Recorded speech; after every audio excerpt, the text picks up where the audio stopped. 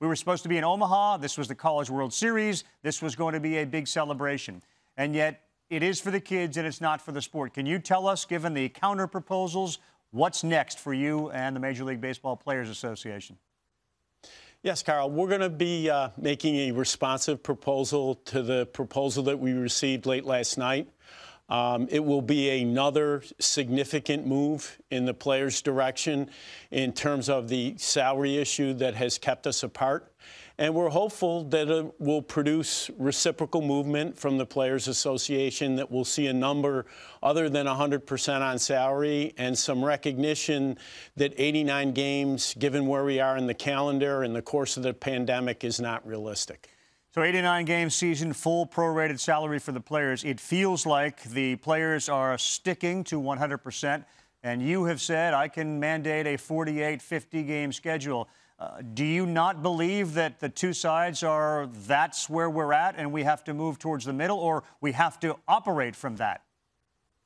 I'm a big believer um, in the process. Um, I would prefer to negotiate a new agreement with, with the MLBPA that gets us more games and resolves um, the issues that have separated us amicably. Uh, but at the end of the day, we negotiated for the right in March to start the season on a number of games um, that, that we select in these particular circumstances. And if we have to, we'll exercise that right.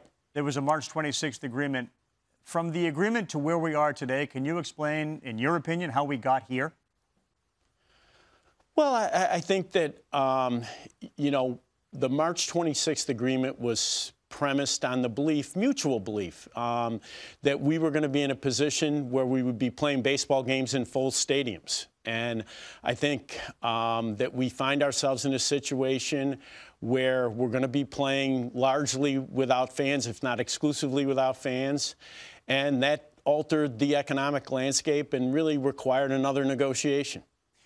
For baseball fans, and I hear this all the time, and I'm sure you do, uh, there seems to be a tone deafness between your group and the players about what's going on in the present as opposed to a collective bargaining agreement. This is different. Is there recognition, do you think, between the two sides that this is different? You know, I can't speak for the Players Association. I can tell you unequivocally uh, that the owners understand this is different that they're listening to what their fans saying and that they are listening to what the players are saying and they're continuing to make proposals um, as a result of the input that they're receiving from those sources. How will you feel if and when this time comes? We're playing 48 games, boys, and let's get ready to go. How will you feel if that's the end result of this? I'll be disappointed that we're unable to reach an agreement that allows us to play more games. Um, but you know what? I think at the end of the day, the most important thing, and I'm not buying into your number of 48, the most important thing is that we play Major League Baseball in 2020, and I can tell you unequivocally we are going to play Major League Baseball this year.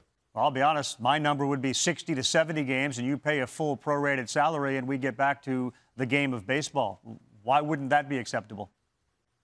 You know, Karl, I'm not going to get into um, bargaining with you about issues with the Players Association. We'll make another proposal to them uh, that's consistent with the economic realities that we're looking at, including the fact that um, our, our, revenues are going to be down over 70%, and hopefully um, we'll find some flexibility on the other side and make an agreement. I've heard September 27th, we want to end the regular season there, hear about expanded playoffs.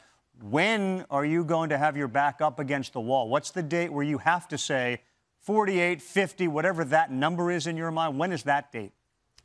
I don't want to commit to um, a, a, a, particular date when we have to go down that path. I will tell you this each and every day that goes by, we lose the capacity to play at least one game. And um, that's really the time pressure that's significant at this point in time. You've been a significant player in all of these recent negotiations. What has that taught you about how you see this resolving itself?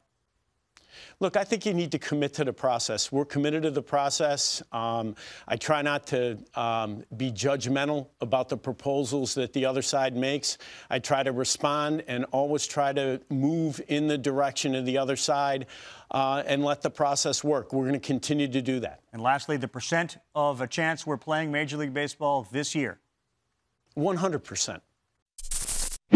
Thank you for watching ESPN on YouTube. For live streaming sports and premium content, subscribe to ESPN Plus.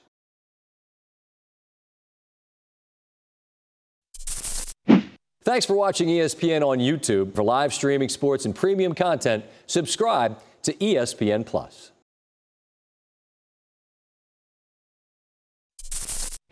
Thanks for watching ESPN on YouTube. For live streaming sports and premium content, subscribe to ESPN Plus.